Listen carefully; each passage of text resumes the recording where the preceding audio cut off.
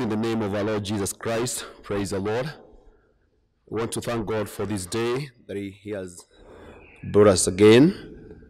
As uh, we said last week, we have been doing series in the Holy Week of the teachings, and uh, we had the topic salvation, whereby we started at the introduction and also God's purpose. And today we'll be speaking about God's plan for salvation. God's plan for salvation as we continue that series of salvation to be able to know more about it. Then later, as we continue this week, we'll be teaching about the, the crucified Christ and also the process and also the cost of salvation. So please, we welcome you for this time. You'll be with us together as we're able to hear the word of God. Let's pray. Our Father and our God, we do come before you. Want to thank you this day for your blessings upon our life. You've been so good to us. We humble ourselves before you and call upon your name. That as we go to hear your word, you speak to us the greater name. Lord, we surrender to you and we pray this trusting in Jesus' name. Amen. Uh, today, we want to speak about God's plan for salvation. The plan for salvation was conceived in heaven and carried out on earth. God is holy. The people he had created had become unholy. He had given them free will so that they could enjoy a loving relationship with him. For without free will, um, the ability to choose love is impossible. Yet men had abused the free will by choosing to please themselves rather than God, to fulfill their own wills rather than His. They had sinned and rebelled against the Lord, authority, through agreeing to the devil's temptation. And there is no way in which they could make their own way back into His favor or into His loving relationship with Him. Only God Himself could save them from the separation that had taken place between God and man, and this he longed to do. However, God is not only holy, he is just. He could not say that sin did not matter, neither could he pretend it didn't exist. He, this just, you know, his just, holy, and light judgment on sin is that it brought condemnation and death and an eternal separation from the Holy One. Man was separated from God because of the sin, and because of that, God has to do something. And the penalty for sin would need to be paid to satisfy that justice. And a sinner could not die on behalf of another sinner to satisfy that justice. For all had sinned, and all were therefore under the same judgment and condemnation. And an innocent man could have to die on behalf of the guilty. Someone sinless would have to receive the death penalty on behalf of the sinners. A righteous one could need to give his life on behalf of the unrighteous. Where could God find a perfect, holy, sinless, totally righteous person? Nowhere.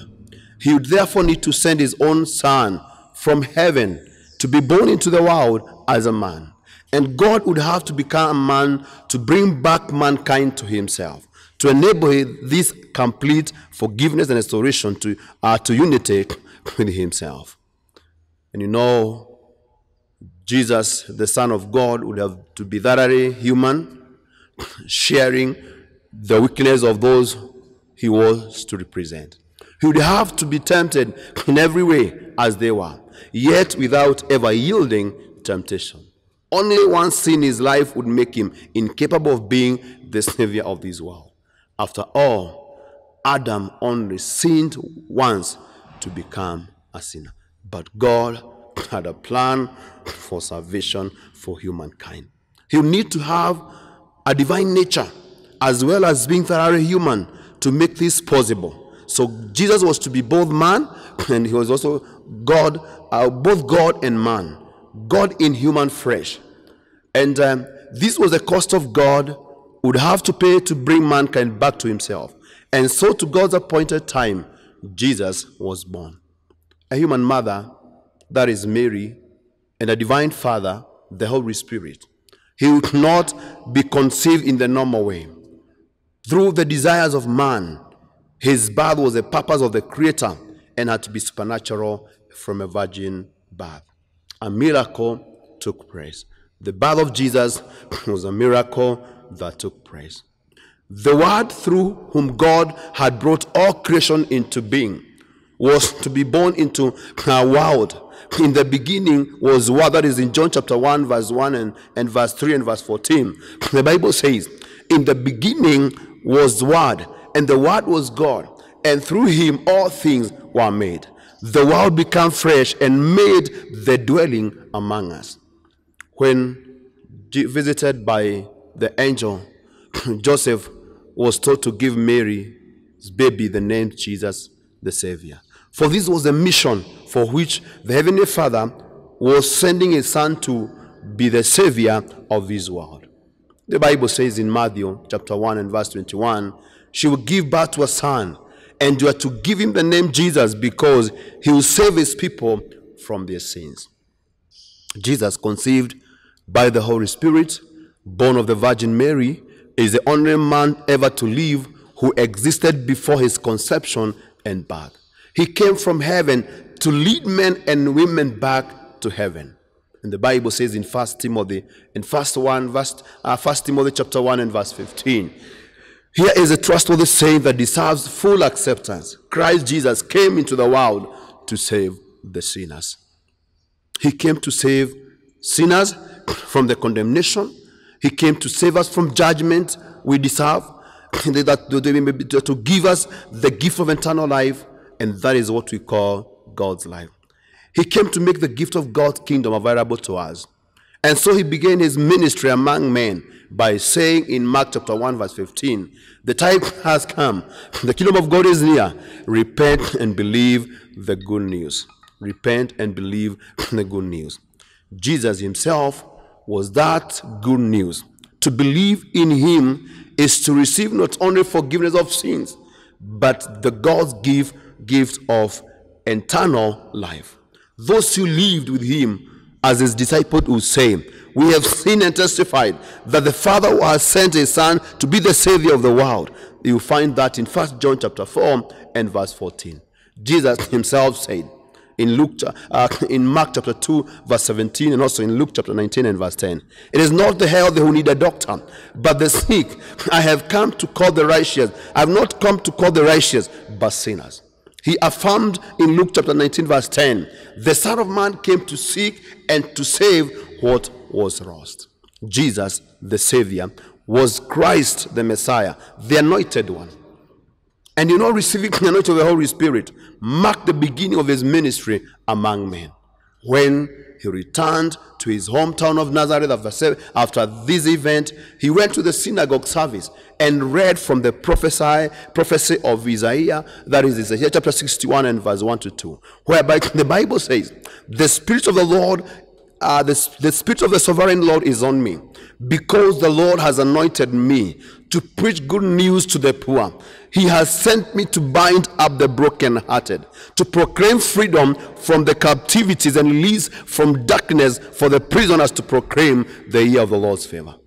The time had come for God's work of salvation that would make it possible for any who believed in Jesus to be set free from their sin darkness and bondage, for them to experience the grace and favor of God and receive the gift of his kingdom. Having accomplished all that he was sent to do on earth, he would then be restored to the glory of heaven from where he had come. Brethren, when you look at the Bible in Hebrews chapter 2 and verse 9, the Bible is telling us we see Jesus, who was made a little lower than the angels, now crowned with glory and honor because he suffered death, so that by the grace of God he might test death for everyone. Jesus fulfilled the mission for which was sent by his Heavenly Father to be our salvation. The one through whom we could receive God's forgiveness for our sin and guilt. The one who take on himself the punishment of death that we deserved the one who does deliver us from the punishment and condemnation that our sins and disobedience warranted. He was made a little lower than angels, so that was crowned uh, to the glory and honor and be able to. He suffered death so that we may f- fulfill and receive all these. If you read the Bible,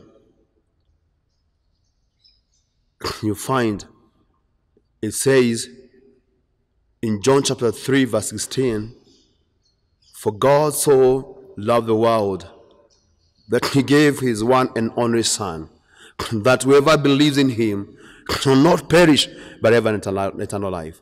For God did not send his Son into the world to condemn the world, but to save the world through his Son Jesus.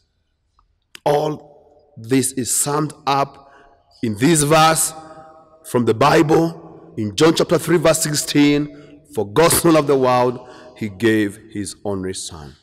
And this is the gospel. This is the good news that in Jesus, God accomplished everything for our salvation. He was in the world, and through the world, was made through him, and the world was made through him. The world did not recognize him. He came to them, he came to that, that which was his own, but did not recognize him. John chapter 1, verse 10 and verse 11. He was rejected by those he came to save. God was making salvation available to all, but he was not going to force his will on anyone. Everyone needs salvation. But today, as in Jesus' time, many choose to remain in their, in, in their sins instead of receiving God's offer of salvation. Why should they do this? The Bible says in John chapter 3, verse 19 and 20, uh, Jesus is explaining this well that this is a verdict light has come into the world, but men love darkness instead of light because their deeds were evil. And everyone who does evil hates the light and will not come into the light for fear that his deeds will be exposed. To reject Jesus is to reject the salvation God offers. It is to remain under the condemnation that is common to all who have ever sinned, the very condemnation that Jesus came to save us from. Whoever believes in him is not condemned. But whoever does not believe stands condemned already because he has not believed in the name of God's once and only Son. The name of that Son is Jesus, our Savior. How dangerous to reject him, to remain under condemnation in this life, and to suffer eternal condemnation as a result. Better to live in him, receive his life now, and the assurance of eternal glory in heaven. And Peter in Acts chapter 4 and verse 12 knew this very well. He is saying, Salvation is found in no one else, for there is no other name under heaven given to men by which we must be saved. Brethren, for us to live, we need to have a battle to believe in Him. We need to receive His life now and the assurance of eternal glory in heaven because that is the purpose of God. God's plan for salvation was to give His only Son to die on the cross. And we can find that he came to seek the lost and to find them. And that is God's purpose. That is God's plan that we are here, that God came to seek us through God, Jesus, uh, his son Jesus Christ being born through Virgin Mary. The plan for salvation was conceived in heaven and carried out on earth. And we know God has a purpose for us. And it is the name of the Father, the Son, and the Holy Spirit. Amen.